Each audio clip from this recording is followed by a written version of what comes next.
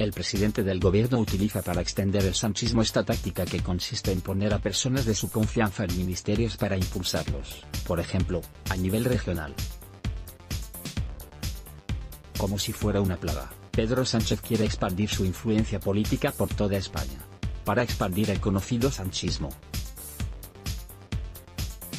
el actual presidente del gobierno va colocando de manera estratégica a ciertas personas de su máxima confianza en diferentes puntos clave. Para conseguirlo utiliza la que podríamos denominar como la técnica del trampolín, que consiste en colocar en ministerios a estos políticos de su confianza para impulsarlos en sus aspiraciones personales, y extender su influencia también a niveles regionales.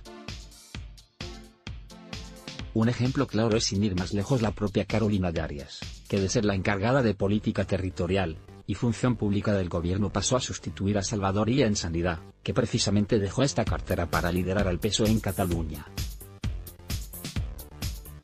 Su llegada a Sanidad le ha proporcionado a Darias experiencia, y un nombre para presentarse con más posibilidades a su nuevo objetivo, la alcaldía de Las Palmas de Gran Canaria. Es decir, al igual que ya utilizó como trampolín su paso por sanidad para dirigir a los socialistas en Cataluña, Carolina Darias hace lo propio pero para intentar asaltar la capital canaria.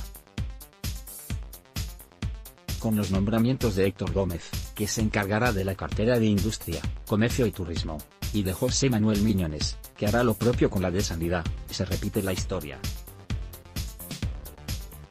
En los dos casos se trata de dos políticos con un perfil bajo, y con poco reconocimiento y trayectoria a nivel nacional, en una decisión tomada más bien en clave interna. Sánchez vuelve a echar mano de esta táctica del trampolín para relanzarlos. En el caso del canario Héctor Gómez, se trata de un hombre de confianza de Sánchez que quiere volver a ponerle en el candelero y en primera línea de fuego de donde había desaparecido tras abandonar su cargo en la portavocía socialista en el Congreso de los Diputados. Actualmente, además de diputado, era el presidente de la Comisión Constitucional del PSOE en esta misma Cámara. Si hablamos de José Manuel Miñones, es el claro ejemplo de esa táctica trampolín de utilizar un ministerio para posicionarlo en una comunidad, en este caso, en Galicia, y es que el hasta ahora delegado del gobierno en esta comunidad es una de las opciones con más fuerza para presentarse como candidato a la Junta en el próximo año. Además, con la llegada al Consejo de Ministros tanto de Gómez como de Miñones, Pedro Sánchez rompe la paridad en su ejecutivo. Y es que, la salida de Carolina Darias y Reyes Maroto deja el balance en positivo para los hombres. Antes eran 12 ministras y ahora se quedan en 10 por los 13 ministros.